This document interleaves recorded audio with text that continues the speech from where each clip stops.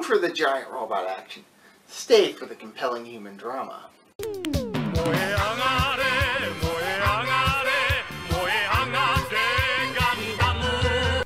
Will you survive? Mobile Suit Gundam. Hello and welcome to a special episode of Earth Alien Protomet. This episode is going to be longer than most of my other videos, but there's a good reason for that.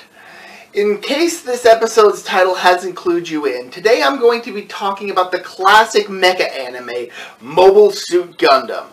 There's a lot to unpack with this one, so let's get right to it. The year is 0079 of the Universal Century Calendar. Earth's burgeoning population has migrated to clusters of space colonies, called sides, that orbit the Earth.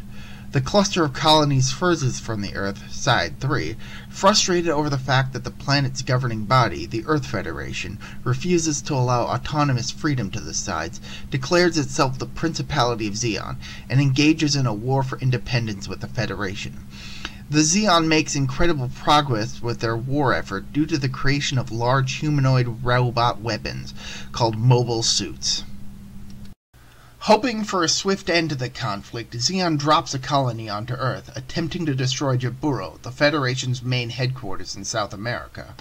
Though Jaburo is spared, Sydney, Australia is transformed from a bustling city into a crater. When this operation proved a failure, the Principality of Zeon began a campaign to invade the Earth, using their mobile suits to swiftly conquer territory after territory. This left the Zeon front line spread too thin to conquer further, while the Federation were powerless to push back their aggressors. By September of that year, both the Federation and Zeon have lost half of their respective populations. And all that, everything I just talked about, that all happens before the first episode even begins. Quite a bit of it is explained in the show, or at least alluded to, but this show has quite the lore behind it. And the footage I've used comes from media released after the original Gundam, so from here on, the quality of the footage will be lower, but given that the show came out about 40 years ago, that's to be expected. Catching wind of the Federation's Operation V, Zeon soldiers under the command of Char Aznable investigate Side 7, where the Federation has been developing their own mobile suits.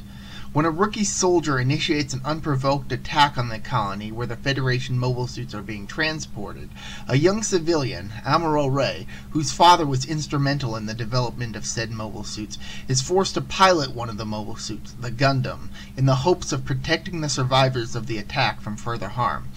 This triggers a desperate struggle to escape the colony aboard the Federation battlecruiser, White Base, and hopefully reach safety from Zeon's forces.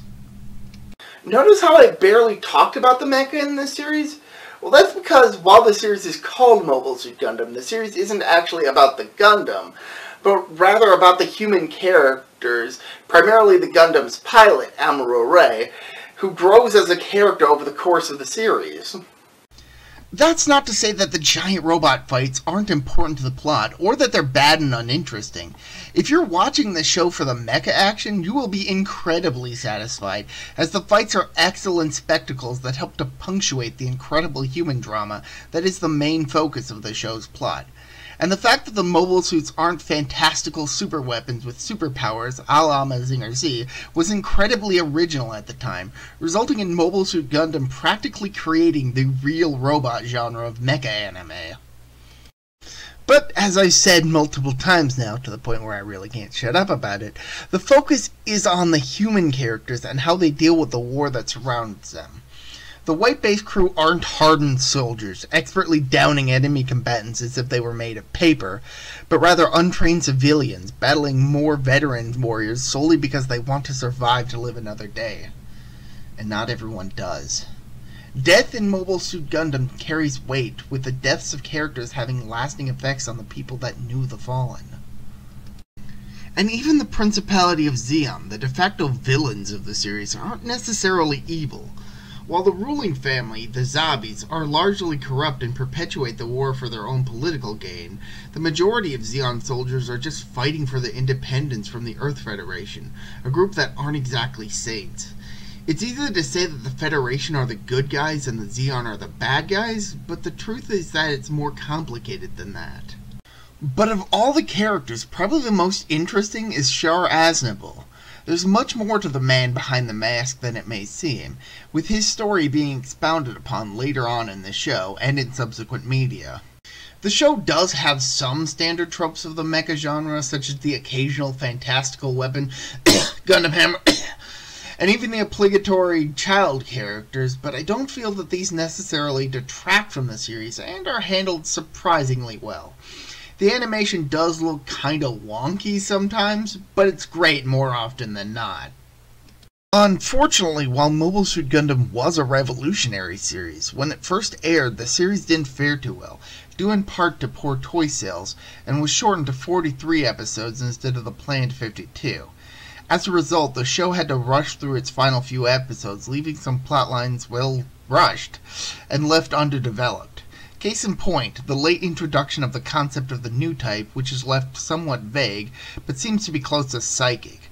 The compilation movies resolve this issue by introducing the concept early on, and while not fully explain it, expand on it by the end of the third film.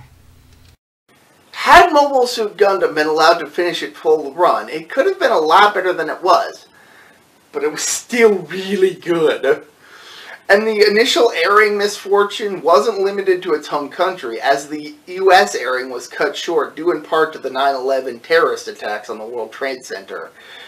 The release of the aforementioned movie and the accompanying model kits breathed new life into the series. The show also had story concepts that were dropped from the final version of the show, only to be revisited in later media. This revival resulted in new shows set after the original series, such as 0083 Stardust Memory, Mobile Suit Zeta Gundam, and Mobile Suit Victory Gundam. There were also a number of shows set during the war depicted in the original series, such as the 08th MS Team, 0080 War in the Pocket, and MS Igloo.